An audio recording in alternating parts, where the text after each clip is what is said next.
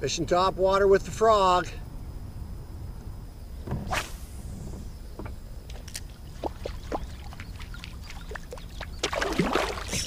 Come on, guys. Little gator.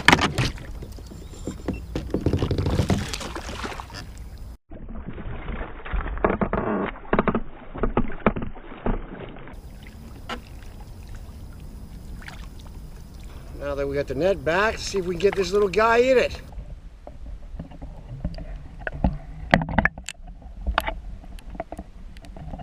There we go. That there is a chubby little gator.